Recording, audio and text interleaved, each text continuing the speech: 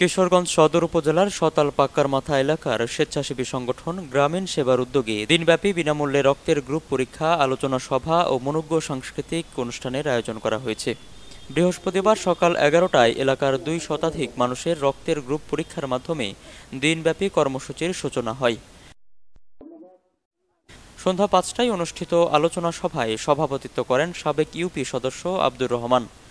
এতে প্রধান অতিথি হিসেবে উপস্থিত ছিলেন বাংলাদেশ মানবাধিকার নাগরিক ফোরামের সভাপতি ও বিডি চ্যানেল ফোরের প্রধান সম্পাদক আহমদ ফরিদ। বিশেষ অতিথি হিসেবে উপস্থিত ছিলেন বাংলাদেশ মানবাধিকার নাগরিক ফোরামের সাধারণ সম্পাদক তারেক মিনহাজ কুরাইশি ছোটন। এতে অন্যান্যদের মাঝে বক্তব্য রাখেন মোহাম্মদ দিন ইসলাম, বিডি চ্যানেল ফোরের স্টাফ রিপোর্টার ফরহাদ ইসলাম, মোহাম্মদ খুরশিদ উদ্দিন, মোহাম্মদ আলী হোসেন, মোহাম্মদ কামাল উদ্দিন প্রমুখ। অনুষ্ঠানটি সঞ্চালনা করেন সংগঠনের উদ্যোক্তা diploma engineer Mohammad Omar Faruk. BD channel four Kishoreganj.